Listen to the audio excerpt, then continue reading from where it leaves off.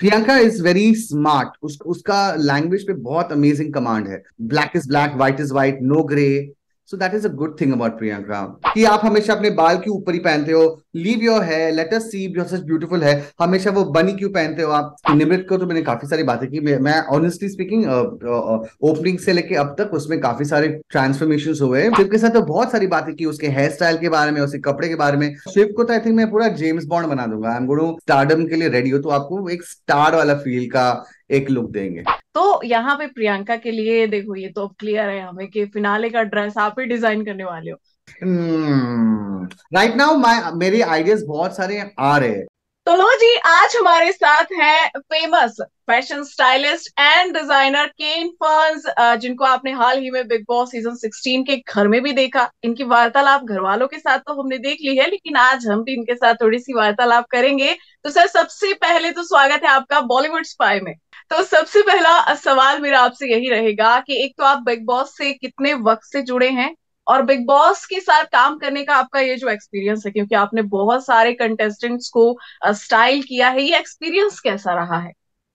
First of all मेरा this is my tenth season of being associated with Bigg Boss as in house designer style director costume designer फलाना फलाना stylist तो it's ten years तो it's been a long journey And I think it's an amazing show and मुझे um, मैं कभी पहले big boss नहीं देखता था to be very honest till the time I was I was hired or uh, I was offered to be the style contestant or the style director, the designer for the show. Is when I started uh, watching Big Boss. So the season Gohar one was season seven. That was my first season. And उसके बाद it's it's been a long journey तो yes it is an amazing show and it is great to be associated because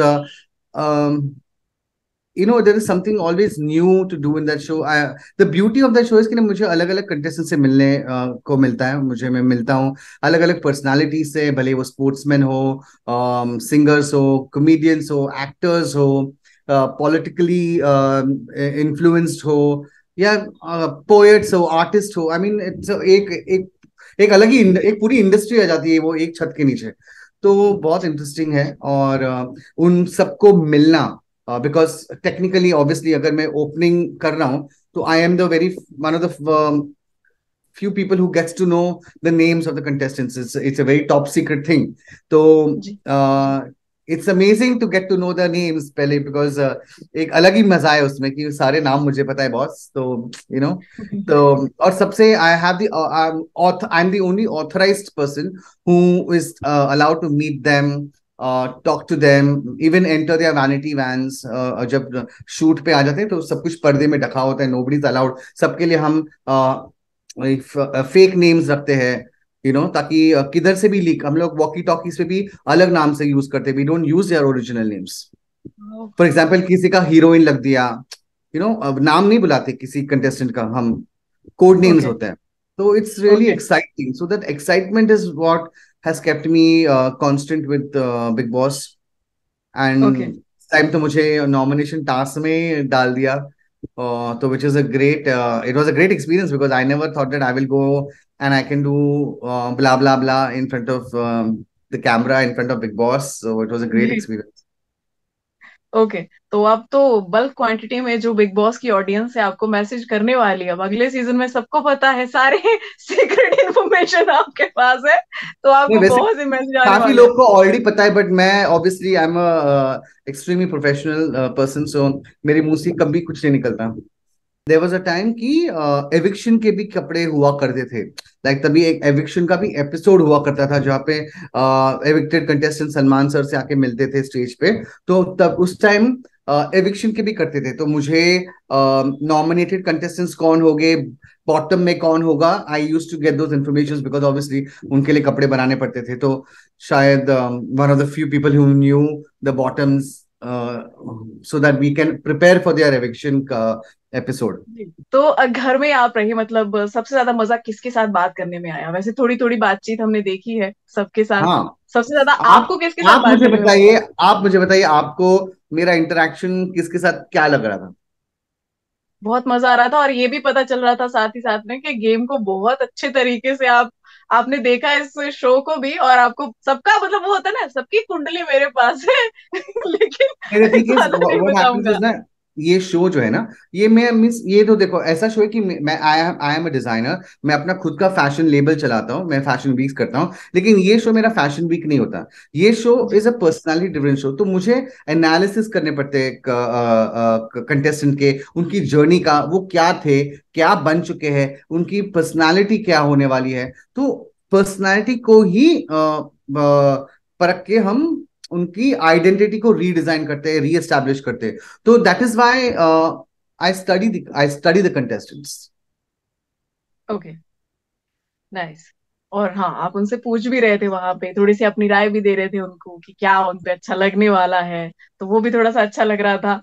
See I was um, I was just told कि Ken you are going to be part of this task. And I was like क्या? What? Task? अचानक से मैं और task and they were and then मुझे पता चला अरे यार ये तो मेन नॉमिनेशन टास्क है भाई मीन्स ये तो मीन्स अलग ही लेवल का स्ट्रेस मुझ पे था और I am not designed for camera I am not I am designed to design I am not designed uh, to be a host or to be a guest wherein I am, um, you know, I can I can just without script go on talking. So, but uh, I think uh, the the creatives know me and they they possibly thought कि शायद ये उखाड़ पाएगा ये लड़का देखते इसको एक ट्राई कराते अब क्या ही करेंगे। तो they were really happy and I think the audiences were happy they got to see something new it was the most refreshing nomination of the season so ji okay तो यहाँ पे सुम्बुल ने सबसे ज़्यादा टाइम आपके साथ स्पेंड किया सत्रह मिनट पूरे। तो आपको खुद को नहीं फील हो गया कि यार ये लड़की के नौ मिनट हो चुके हैं? सच में सच में अगर मुझे टाइम का कोई एक परसेंट अंदाज़ा होता ना मैं खुद उठ के चले जाता। मुझे टाइम पता ही नहीं था। नहीं ना हम हमारी तो वॉचेस निकाल देते हैं और आजू बाजू सब फेक क्लॉक से जो अड़े हुए क्लॉक से। So there is no there is no अंदाज़ा of time at all it is just that you start and then you start it is for them to stop not for me to stop it is for the contestants कि उनके हिसाब से जब उनको लगता है कि उनकी उनकी नौ मिनट खत्म हो जाती है तो वो मुझे बोलते हैं कि आई थिंक मेरा नौ मिनट खत्म हो गया। तो मैं तो बस अपना काम कर रहा था मैं तो बस बातें कर रहा था मैं तो बस एंड uh, मैंने मैं ऑनेस्ट एडवाइसेस दिए कंटेस्टेंट्स को और ऑब्वियसली मुझे घुमाना भी था तो मैंने इधर उधर घुमाया अभी बट मैंने उन्हीं के कॉन्वर्जेशन को पकड़े उन्हीं के चीज़ों को पकड़े और uh, uh, उनको एंगेज किया।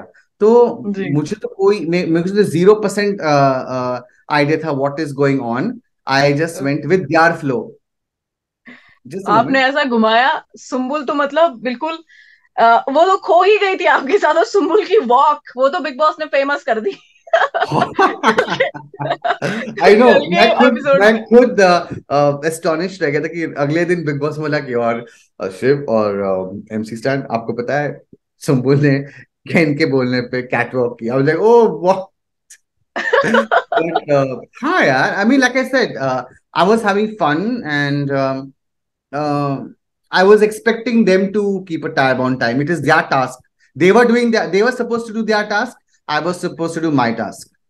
जी जी जी वेरी नाइस nice. बहुत मज़ा आया उस टास्क में और आपकी प्रियंका के साथ भी कॉन्वर्सेशन हुई आपने प्रियंका को बहुत सारे कॉम्प्लीमेंट्स भी दिए मडोना से कंपेयर किया तो वो तो उनके फैंस के लिए मतलब एकदम मज़ा आ गया बाहर बवाल हो गया नहीं नहीं नहीं कॉम्प्लीमेंट्स भी दिए और मैंने काफ़ी कुछ राय भी दी ऑब्वियसली राय शायद उतना मीस एक होता है एक एपिसोड कटता है। तो ऑब्वियसली अगर सुम्बुल ने मेरे साथ से सत्रह मिनट स्पेंड किया है प्रियंका ने I think fourteen minutes they can't show the entire fourteen minutes you know तो it's too much conversation but obviously they pick up जो अच्छी चीज़ें हैं एंड एवरीथिंग एंड आई मैंने प्रियंका को काफ़ी सारा एडवाइस दिया in terms of she is got a great body उसका ग्रूमिंग लेवल बहुत मीन्स एक एक, एक ग्रेजुअल ग्रोथ था। And I am that kind of person हर हर अच्छी चीज़ को अप्रिशिएट करना चाहिए और हर हर खराब चीज़ में सुधार लाने की कोशिश करना चाहिए। जी जी एक्चुअली तो मतलब ये सारी वो चीज़ें रही जो आपने बताई प्रियंका को जो एडिट हो गया है एपिसोड से। तो कहीं ना कहीं हाँ मैंने I mean I told her कि आप हमेशा अपने बाल के ऊपर ही पहनते हो? लीव योर है let us see your such beautiful है हमेशा वो बनी क्यों पहनते हो आप? नो एज एन आप कपड़ों में तो एक्सपेरिमेंट करते हो। हेयर स्टाइल में भी कर लो थोड़ा सा mean I was giving us some ideas जी जी ओके तो यहाँ पे प्रियंका के लिए देखो ये तो अब क्लियर है हमें कि फिनाले का ड्रेस आप ही डिज़ाइन करने वाले हो। तो थोड़ा सा अगर हमें हिंट मिल जाए ना क्या कुछ आइडियाज़ चल रहे हैं प्रियंका की पर्सनैलिटी के हिसाब से? लिटिल बिट तो मज़ा आ जाएगा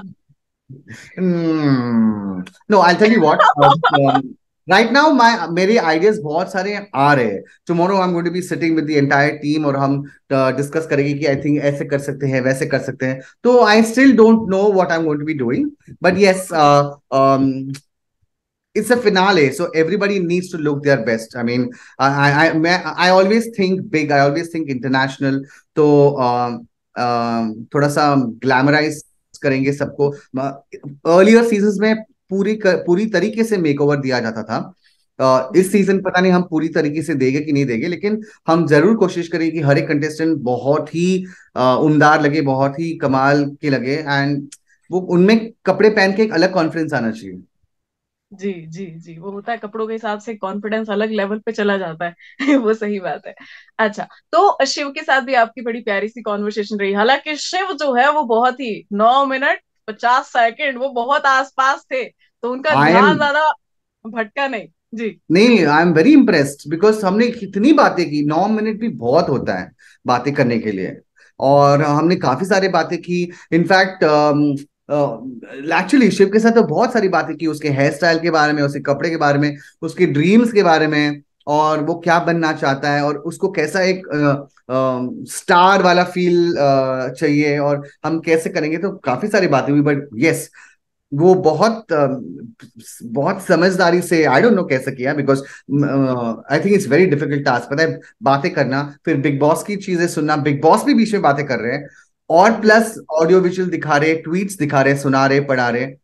प्लस मैं नॉन स्टॉप पक पक पक पक कर रहा हूँ। तो सारी चीज़ों के साथ में काउंट करना very difficult but he he nailed it okay अब आपने थोड़ा सा प्रियंका के आउटफिट के बारे में तो बता दिया। अब थोड़ा सा शिव के आउटफिट के बारे में भी हो जाएगी। फिनाले के लिए क्या? मतलब एक जो उन्होंने शिव को तो मैं पूरा शिव को तो आई थिंक मैं पूरा जेम्स बॉन्ड बना दूँगा। I am going to convert him into this very like मैं शिव को मैंने बताया वो दिन आप पता है um, आप रेड कार्पेट के लिए रेडी हो आप स्टारडम के लिए रेडी हो तो आपको एक स्टार वाला फील का एक लुक देंगे। ओके ओके तो देखा जाए तो यहाँ पर जैसे कि मैंने पहले भी कहा कि ऐसा लगता है कि आपने ना शो को बहुत अच्छे से फॉलो किया एंड आपको सबकी कुंडली पता है किसने क्या क्या किया है पूरे सीज़न में। तो आपको घर में सबसे ज़्यादा अच्छा गेम किसका लग रहा है? अगर मैं सीधे शब्दों में कहूँ तो आपका फेवरेट कौन है? बिग बॉस सीज़न सिक्सटीन में। I think I think the ones अभी जो अभी जो टिके है ना उन्होंने काफ़ी uh, काफ़ी अच्छा खेला है to be very honest and everyone in सब में ना सबका एक एक ट्रेट है। सब सब में एक खासियत है। और I think it's good be very difficult finale week and very difficult judging criteria because सब अपना अपना एक कुछ लेके आते हैं पता है? अर्चना अपनी खुद की एक इमेज है उनकी पर्सनैलिटी है वो है ही एक वो भी एक वन वन पीस है कंट्री में। और बहुत सारे कम लोग हैं जो वन पीस है कंट्री में। Archana is like that she is one unique individual because मैं काफ़ी सीज़न किया हूँ मैंने काफ़ी कंटेस्टेंट को देखे तो she is very unique you know Priyanka is very smart उसके उसके पूरे सिस्टम में ये पूरा गेम है। उस वो और शी इज़ गॉट उसका लैंग्वेज पे बहुत अमेजिंग कमांड है।